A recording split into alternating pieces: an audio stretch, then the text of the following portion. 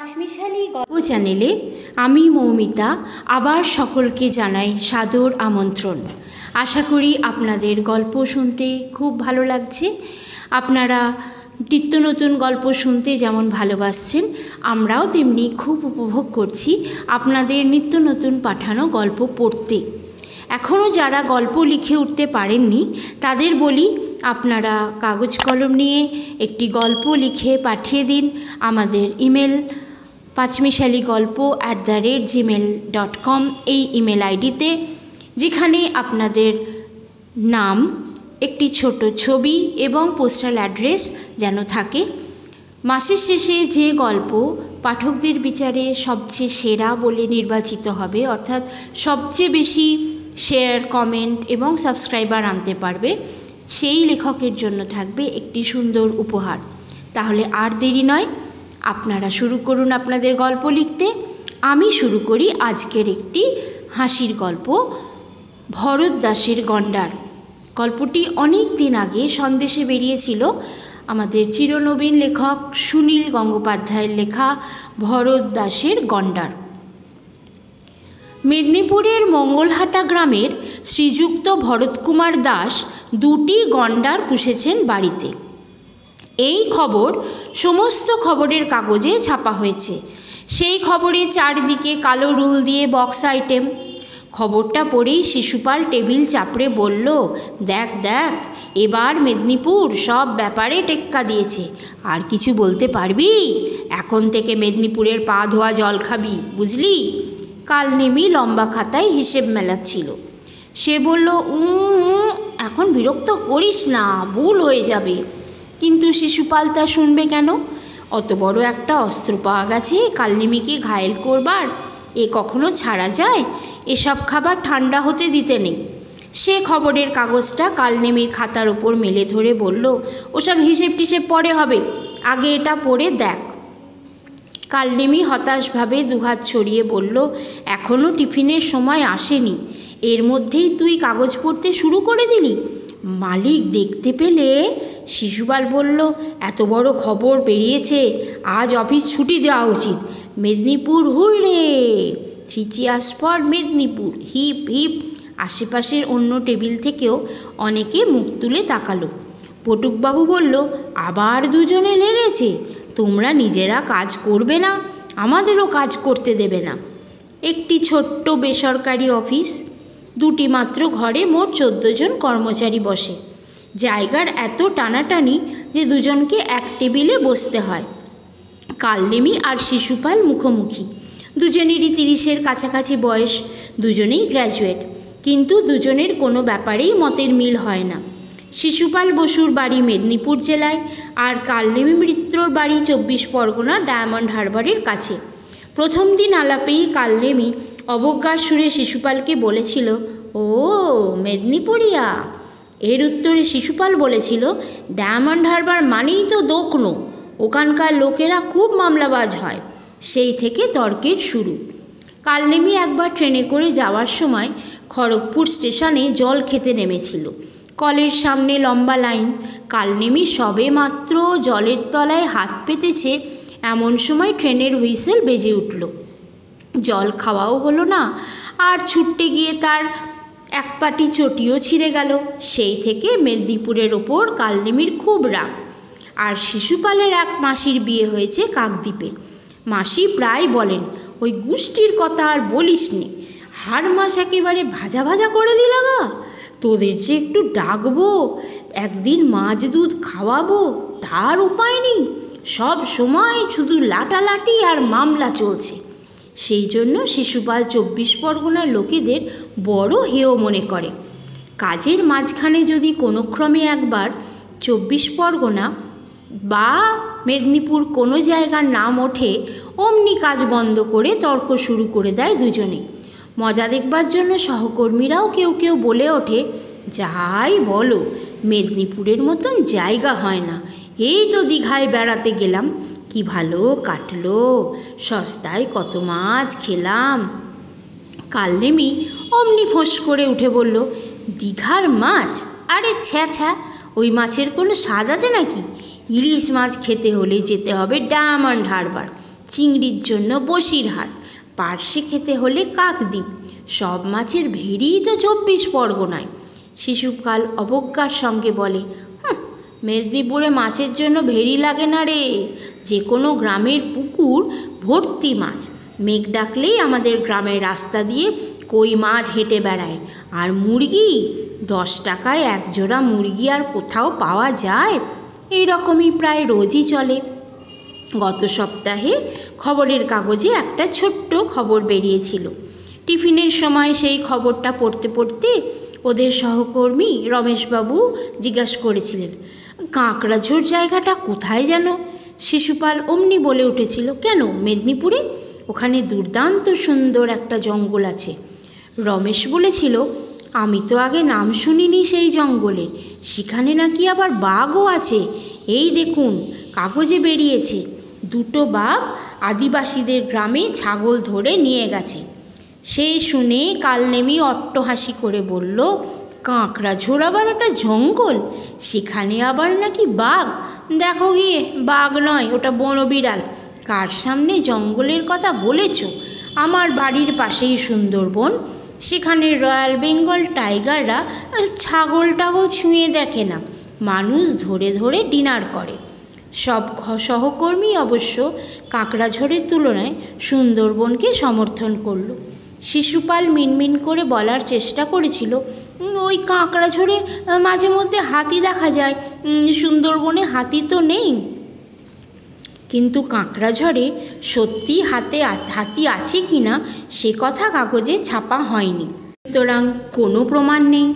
সেই জন্য শিশুপালের দাবি অন্যরা মেনে নিতে রাজি হলো না। শিশুপাল সেই জন্য একটু মনমরা হয়েছিল। আজ আবার সে একটা জবর খবর পেয়ে গেছে। মারিত গণ্ডার লুটিত ভাণ্ডার এই সেই গণ্ডার। শিশুপালের চেঁচামেচি শুনে বটুকবাবু, রমেশবাবুরাও হুমড়ি খেয়ে পড়ল কাগজটার উপর। সত্যিই তো জবর খবর, মেদিনীপুরে গণ্ডার তাও আবার একটা নয়, দুটো, আবার পোষা কে এই ভরতকুমার দাস? কাল নেমে মিনমিন করে বলল, ও, ভুল লিখেছে খবরের কাগজে অনেক ভুল খবর বেরোয়। শিশুপাল বলল, আরে, তোদের ওই সুন্দরবনের অসত্য বাঘগুলোর খবরও তো কাগজেই ছাপা হয় না কি নইলে সেই সব বাঘ কি কেউ চোখে দেখেছে? আমাদের মেদিনীপুরের মানুষ গন্ডারকেও পোষ মানাতে পারে। যে কেউ ইচ্ছে করলে দেখে আসতে পারে। কালনেমি বলল, হুঁ, গন্ডার আবার কখনো পোষ মানে? তাহলে তো গিনেস বুক অফ রেকর্ডসে ছাপা হয়ে যেত। তোদের ওই বাংলা কাগজের খবর আমি বিশ্বাস করি না। আমার বাড়িতে ইংলিশ নিউজ পেপার পড়ি। বাড়িতে গিয়ে মিলিয়ে দেখব। বটুকবাবু সঙ্গে সঙ্গে অফিসের বয়কে ডেকে বলল, ও ওরে বংশী পাশের অফিস থেকে ইংরেজি কাগজখানা একটু ধার চেয়ে আনতো। সেই কাগজ আনা হলো। হ্যাঁ ইংরেজি কাগজেও বেশ গুরুত্ব দিয়ে ছাপা হয়েছে। দুখানা রাইনোসেরাস, পাশে আবার ব্র্যাকেট দিয়ে লেখা ডোমেস্টিকেটেড শিশুপাল টেবিল চাপড়ে বলল, এবার এবার চব্বিশ পরগনার থোঁতা মুখ ভোতা হয়ে গেল তো? রমেশবাবু একটু সন্দেহ সৃষ্টির জন্য বলল, অবশ্য ছাপার ভুল হতে পারে। মঙ্গলহাটা গ্রামটা যদি জলপাইগুড়িতে হয়, তাহলে আর অবিশ্বাসের কিছু নেই। ওখানে তো গন্ডার আনাচে কানাচে আছেই। শিশুপাল চোখ গরম করে বলল দু দুটো কাগজে ভুল চাপা হবে মশাই। তাছাড়া জলপাইগুড়িতে কেউ কোনো দিন গন্ডার পুষেছে বলে আমি তো শুনিনি। ওই রকমের হিম্মত। মেদিনীপুরের লোক ছাড়া আর কারোর হয় না। পটুকবাবু বলল, যদি সত্যি হয়ে থাকে তাহলে নিশ্চয়ই বাচ্চা গন্ডার। শিশুপাল বলল, চলুন, এই শনিবার আমার সঙ্গে চলুন মেদিনীপুর। আমি খরচা দেব। নিজের চোখে দেখে আসবেন, বাচ্চা না বড়। টিফিনের সময় কাল নেমিকে দেখা গেল খবরের কাগজের অফিসে টেলিফোন করতে। ইংরেজি কাগজের অফিসের লোকেদের সঙ্গে ইংরেজিতে কথা বলতে হবে বলে সে ফোন করে ধরল বাংলা কাগজের অফিসে। সে প্রথম কথাতেই তাকে ধাক্কা খেতে হলো। সে প্রথম টেলিফোন ধরলো। সেই ভদ্রলোক জিজ্ঞেস করল হ্যাঁ বলুন, কি চাই? কালনেমি বলল, দেখুন, আজকের একটা খবর সম্পর্কে একটু জিজ্ঞাসা করতে চাই। ওপাশে লোকটি বলল, কি খবর? কার খবর? কোথাকার খবর? লোকাল না ফরেন? রিপোর্টিং না এজেন্সি ম্যাটার? বলুন বলুন বলুন। ঘাবড়ে গিয়ে কালনেমি ফোন রেখে দিল। শিশুপাল বলল, আরে আরে, এই যে দেখছি ফোনও করতে পারে না। দেখ, আমি করছি। সে ডায়াল ঘুরিয়ে কানেকশান পাওয়ার পর নিজেই প্রথম জিজ্ঞাসা করল, ও মশাই, গন্ডারে ব্যাপারটা একটা কথা জিজ্ঞাসা করছিলাম। অন্য দিক থেকে বলল, গন্ডার, এটা কি চিড়িয়াখানা ভেবেছেন নাকি? আজকাল যা হয়েছে টেলিফোনের ব্যাপার, সব সময় রং নাম্বার। সেই লোকটি লাইন কেটে দিল।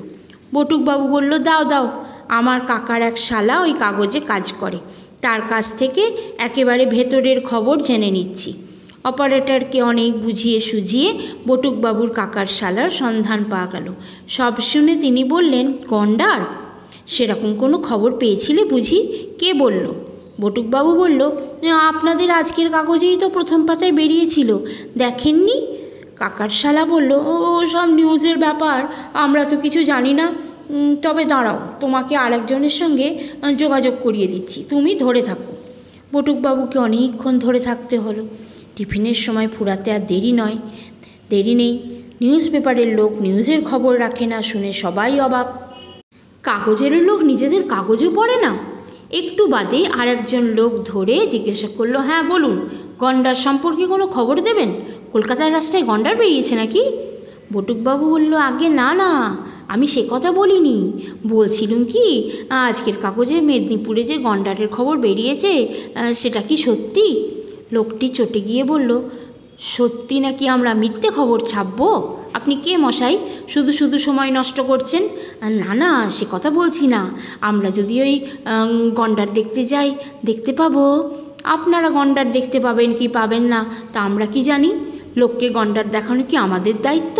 গন্ডার যদি দেখার অত গরজ থাকে, তাহলে অত দূর মেদিনীপুর যেতে হবে কেন? আলিপুর চিড়িয়াখানায় চলে যান। ও ওই গন্ডারে খবর যিনি লিখেছেন তিনি নিজের চোখে দেখেননি। হার মশাই সব কিছু নিজের চোখে দেখে লিখতে গেলে তো আমাদের এক হাজারটা চোখ থাকা দরকার। তবে ওই খবরটা আমরা অনেক চেক করে তবে ছেপেছি। দু তিন জায়গায় খোঁজ নেওয়া হয়েছে, সব জায়গাতেই মিলেছে। লাইভ স্টক সেন্সাস হচ্ছে কি না লাইভস্টক সেন্সাস কাকে বলে জানেন? ওই ওই গৃহপালিত পশু, যেমন গরু, মোষ, ছাগল, ভেড়া, এসব গোনাগুনতি হচ্ছে। তার মধ্যে ওই দুটি পোষা গন্ডারে সন্ধান পাওয়া গেছে। আশ্চর্য ব্যাপার, এদেশে কিন্তু কেউ জলহস্তি পোষে না। টেলিফোন রেখে দিয়ে বটুকবাবু যেই বলল, খবরের কাগজের লোক নিজের চোখে দেখে লেখেনি, অমনি কাল নেমি লাফিয়ে উঠে বলল, এই, আমি বলেছিলাম গাঁজাখুরি গাঁজাখুরি ও- ওদের নামে মামলা আনা যায়। শিশুপাল অন্যদের দিকে তাকিয়ে বলল, দেখলেন দেখলেন দোকনোর কাণ্ডটা। এই যে লিখেছে ডিস্ট্রিক্ট ম্যাজিস্ট্রেটের রিপোর্ট, মহকুমা হাকিম বলেন, এসব কখনো মিথ্যে হতে পারে। ঠিক আছে, এই শনিবার কে কে যাবে মেদিনীপুর বলো, আমি খরচা দেব, নিজের চোখে দেখিয়ে দেব। এরকম সুযোগ কজন ছাড়ে? রমেশবাবু, বটুকবাবু দুজনেই রাজি হয়ে গেল ওদের সঙ্গে যেতে। বাজি ধরা হলো গন্ডার নিয়ে যে পক্ষই জিতুক, একশো টাকা খেতে পাবে। হাওড়া স্টেশনে এসে কাল নেমে একসময় আপত্তি জানালো। সে খড়গপুর হয়ে যাবে না। কিন্তু তার আপত্তি টিকল না। খড়গপুরকে বাদ দিয়ে কি মেদিনীপুর যাওয়া যায়? শিশুপাল চেঁচিয়ে উঠে বলল, ভিতু ভিতু। মঙ্গলহাটা গ্রামে পৌঁছাতে পৌঁছাতে সন্ধে হয়ে গেল। ভরত কুমার দাসের নাম জিজ্ঞেস করতেই সবাই চিনতে পারল এক বাক্যে। কয়েকজন এগিয়ে এসে আঙুল তুলে দেখিয়ে দিল হ্যাঁ চলে যান না। ওই তো, ওই রাস্তার একেবারে শেষ বাড়িটা। মস্ত বড় বাগান। আর পুকুরও আছে দেখবেন, তাদের ঠোঁটে মিটি মিটি হাসি। বটুকবাবু ফিসফিস করে শিশুপালকে জিজ্ঞাসা করল, এদের কাছে জানতে চাইব নাকি? শিশুপাল বলল, কিচ্ছু দরকার নেই। এত দূর এসে যখন পড়েছি, একটু পরেই তো চক্ষুকর্ণের বিবাদ ভঞ্জন হয়ে যাবে। রমেশবাবু বলল, তা ঠিক। কিন্তু কথা হচ্ছে ও ওই ভরতদাস লোকটা কি পোষা গন্ডারদের ছেড়ে রাখে না খাঁচায় রাখে? আমার না বড্ড কুকুরের ভয়। শিশুপাল প্রায় তেড়ে উঠে বলল আপনি তো মশাই আচ্ছা লোক গন্ডারের সঙ্গে কুকুরের তুলনা করছেন? গন্ডার কি কুকুরের মতন ঘেউ ঘেউ করে? রমেশবাবু বলল "উম, গন্ডার কীভাবে ডাকে তা তো আমি জানি না তবে আমি না আপনাদের পেছনে থাকব। ভরতদাসের বাড়িটি বেশ বড়। সামনে অনেকখানি বাগান তাতে আবার গেট। ভেতরে চৌকো চত্বরে চারিদিকে চারখানা ঘর। তার মধ্যে দুখানা পাকা, দুখানা খড়ের চালের। বাড়ির পেছন দিকেও অনেক গাছপালা। বেশ অবস্থাপন্ন লোক। এই রকম লোকেরই গন্ডার পোষা মানায়। চৌকো চত্বরটায় মোড়ায় বসে একজন মাঝবয়সী খালি গায়ে মানুষ হুঁকো টানছে। এই দলটি ভেতরে এসে জিজ্ঞাসা করল ভরত কুমার দাস আছেন নাকি? হুঁকো টানা থামিয়ে লোকটা জিজ্ঞাসা করল, আপনারা কোথা থেকে আসছেন? বটুকবাবু বলল, কলকাতা থেকে। শুনেই লোকটা উঠে দাঁড়িয়ে বিগলিতভাবে বললেন ও কলকাতা থেকে? আসুন আসুন। এ, কে আছিস রে? চেয়ারটা নিয়ে আয়। চায়ের জল বসা। লক্ষ্মীকে দেখতে এসেছে। লক্ষ্মীকে সাজতে বল। বটুকবাবুরা পরস্পরের মুখ চাওয়াচাই করতে লাগলেন। বাড়ির ভেতর থেকে একজন লোক ওদের জন্য চেয়ার বয়ে আনলেন। দু তিনজন মহিলাও উঁকি মারলেন। হুঁকো হাতে লোকটি বলল, আসুন, বসুন বসুন। আসতে কোনো কষ্ট হয়নি তো? আমি ভেবেছিলাম আগামীকাল আসবেন। খবর দিলে আমি স্টেশনে লোক পাঠাতাম। শিশুপাল বলল, আগে আমার পরিচয় দিয়ে দিই। আমি শিশুপাল বসু আর ইনি বেটু বটুকেশ্বর দত্ত। ইনি রমেশচন্দ্র নাগ আর ইনি হচ্ছেন কালনেমি মিত্তি। আমরা এসেছি ভরতকুমার দাসের সঙ্গে দেখা করতে। লক্ষ্মী, লোকটি বলল, আমি সেই অধম, আমার মেয়ের নামই লক্ষ্মী। একটু বসুন, লক্ষ্মীকে সাজিয়ে গুজিয়ে নিয়ে আসছি। বটুকবাবু বলল, লক্ষ্মী মান মানে আমরা তো আপনার মেয়েকে দেখতে আসিনি। আমার মেয়েকে দেখতে আসেননি। তাহলে আপনারা, আমরা মানে আপনার বাড়ির গন্ডার দুটো দেখতে এসছি। মানে দূর থেকে এক ঝলক দেখলেই চলবে। একটা বাজি হয়েছে কি না ভরতকুমার প্রথমেই চোখ গোল গোল করে বলল, আপনারা বড়দা সাঁতরার কাছ থেকে আসেননি? আমার মেয়েকে দেখতে আসেননি? আপনারা গন্ডার দেখতে ও ভরতকুমার এমন হাসি শুরু করলেন যে সারা পাড়া যেন কেঁপে গেল একেবারে। হাসির চোটে হাত থেকে পড়ে গেল হুঁকো। প্রথমে সে বসে পড়ে মাথা ঝাঁকাতে লাগল, তারপরে হাসতে হাসতে একেবারে মাটিতে গড়াগড়ি। এরা চারজন একেবারে হতভম্ব। ভরতকুমার দাসের হাসি তো আর থামছেই না। লোকের যেমন কাশির রোগ থাকে, এরও তেমন বোধহয় হাসির রোগ। বটুকবাবু বলল, চলো ভাই, কেটে পড়ি। রমেশবাবু বলল, বাজির তো কিছুই ফয়সালা হলো না। শিশুপাল বলল, ওই কালনেমি ব্যাটাই হেরেছে। কালনেমি মাটিতে বসে পড়ে ভরতকুমারের হাত ধরে ব্যাকুলভাবে বলতে লাগল, ও দাদা ও দাদা শুনুন শুনুন, আমিও রামায়ণের, আপনিও রামায়ণের, আমরা দুজনে এক দলের। আর ওই শিশুপালটা ব্যাটা মহাভারতের, আর আরও বড় বইয়ের ক্যারেক্টার বলে গর্ব করে। কিন্তু ওর যে মুন্ডু ওড়ে গিয়েছিল সেটা মনে থাকে না। আপনি শুধু একবার বলে দিন তো, আপনার বাড়িতে গন্ডার নেই, ওর মুন্ডুটা আবার হেঁট হয়ে যাক। শিশুপালে অন্যদিকে বসে পড়ে বলল, ও ভরত দাদা, ও ভরত দাদা, আপনিও মেদিনীপুর, আমিও মেদিনীপুর আমরা হলুম গিয়ে ভাই ভাই, আত্মীয়, কি বলুন? একবার চট করে গন্ডার দুটো দেখিয়ে দিন তো ভাই, একটা দেখালেও চলবে। ভরত কুমার এবারে হাসি থামিয়ে উঠে বসল, মুখ মুছলো গামছা দিয়ে। তারপর বলল দেখবেন দেখবেন দেখুন তাহলে। সুর করে সে ডাকলো আয় তোরে আমার কার্তিক, আয় তোরে আমার গণেশ, আয় আয় আয়। অমনি গোয়াল ঘরের পাশ দিয়ে প্যাক প্যাক করে ডাকতে ডাকতে দুটো বেশ বড় রাজহাঁস চলে এলো উঠোনে। ভরত কুমার বলল, আমি মিছে কথা বলি না। এখনকার ছেলে ছোকরারা ইংরেজি জানে না। আমি কি করব বলুন? থানা থেকে লোক এলো আমার বাড়ি গরু ছাগল গুনতে। আমি সব শেষে বললুম আই হ্যাভ টু গ্যান্ডার্স আমি কি কিছু ভুল বলেছি? তারা যদি মানে না বুঝে গন্ডার লিখে নেয় কাল নেমি লাফাতে লাফাতে বলল, নেই নেই, গন্ডার নেই নেই। শিশুপাল তার ঘাড় চেপে ধরে বলল, ওরে কালু, ভালো করে চেয়ে দেখ। গন্ডার না হলো তো কি হয়েছে? এমন রাজহাঁস জন্মে দেখেছিস? তোদের সুন্দরবনে তো সব পাতিহাঁস। আশা করি আপনাদের গল্পটি ভালো লেগেছে। পরের সপ্তাহে আবার এরকম কোনো একটি দমফাটা হাসির গল্প নিয়ে আবার হাজির হব আপনাদের সামনে। আপনাদের কেমন লাগল সেই মতামত আপনাদের কমেন্ট বক্সে জানাতে ভুলবেন না এবং আমাদের চ্যানেলটি সাবস্ক্রাইব করে এই সুন্দর সুন্দর গল্পগুলি ভালো বেশি করে ছড়িয়ে দিন আপনাদের বন্ধুদের মধ্যে।